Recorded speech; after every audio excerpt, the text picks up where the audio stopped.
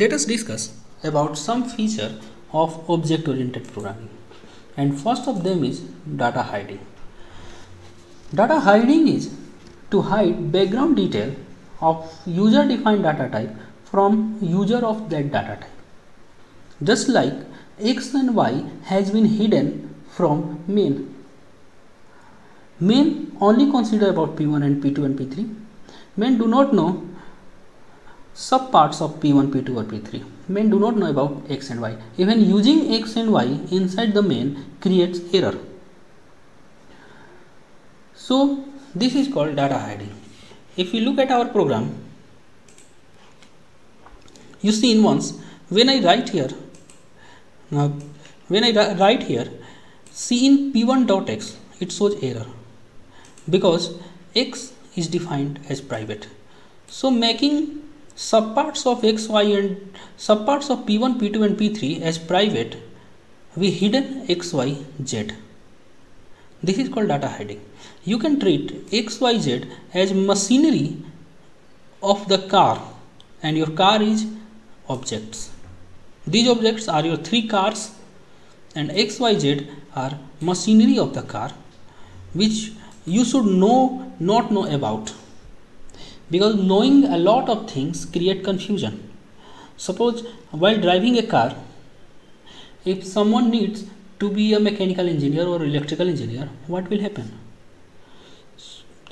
That's how hiding a thing create less complexity. That's why to hide these three xyz from main which will create less complexity for main and what was the less complexity? Any change inside the set data get data main do, do not care about. This was the less complexity for main so hiding those things by doing it private making your program less complex. Hope it makes sense. Next object oriented feature is data abstraction. Data abstraction it's showing the useful data after hiding background data. What if if you hide everything inside the car? How a driver will drive a car?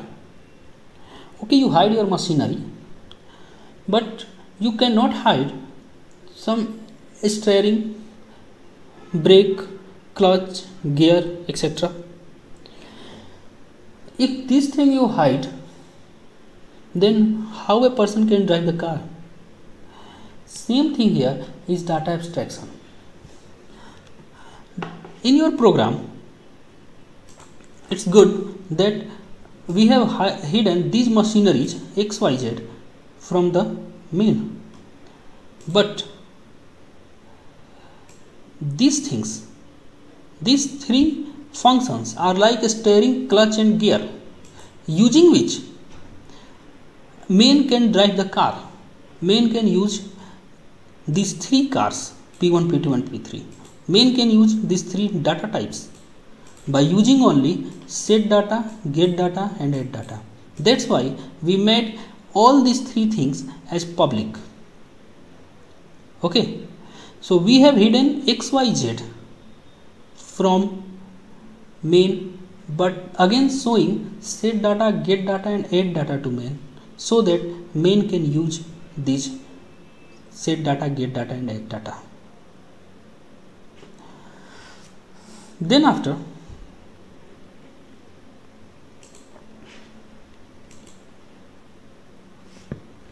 another concept is data encapsulation.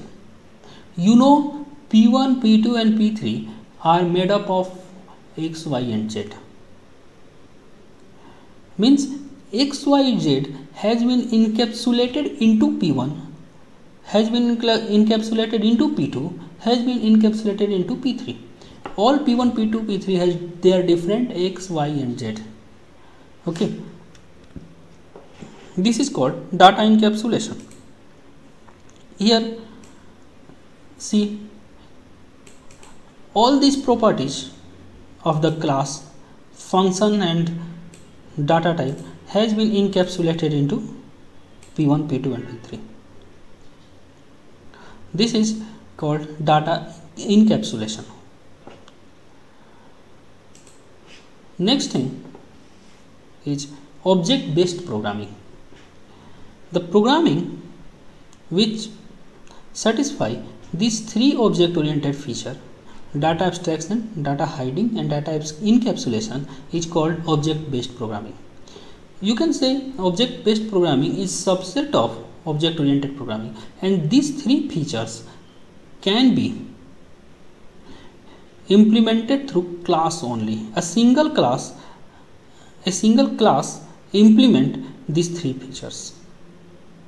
Data abstraction data hiding and data encapsulation which we already seen. And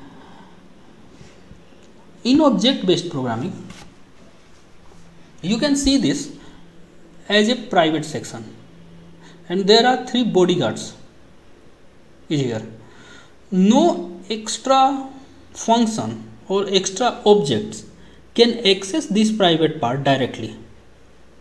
If you have to access this private part they go through this this and this. That's why from main and other users this x and y is hidden and hiding these things actually make less complexity for main and other users. Okay.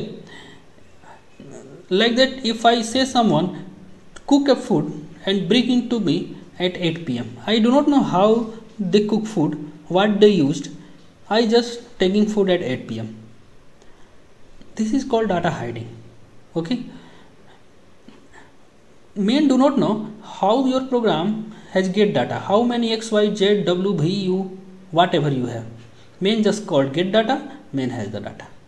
And that's it. This is how object oriented programming object based programming works. But this is all about object based programming. These three features and uh, these three features and this architecture.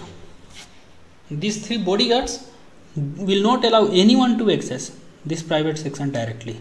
You have to access this private section through get data add data and set data.